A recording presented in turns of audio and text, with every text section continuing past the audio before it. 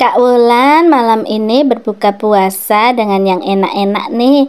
Ada tumis bunga daun uh, pepaya ya, bunga pepaya yang enak walaupun pahit. Pasti Kak Wulan pinter nih masaknya nggak jadi pahit ya. Terus seperti biasa nggak lupa sambal ikan asin dan juga tempe nih sedap. Pokoknya tiap hari masak itu melulu tapi nggak bosen. Kalau aku yang makan juga pastinya nggak bosen tuh karena bikin ngiler terus ya makanan seperti itu.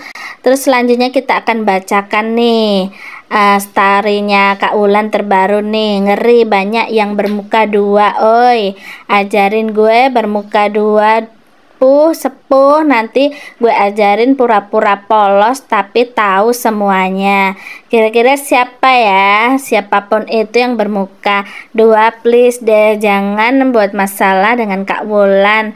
Pokoknya kalaupun baik beneran baik. Kalaupun gak baik ya jangan deketin. Jadi harusnya netral dong ya. Kalaupun sayang sama Kak Wulan itu jangan sampai bermuka dua ya harus mukanya yang benar-benar tulus ya untuk menyayangi Kak Wulan.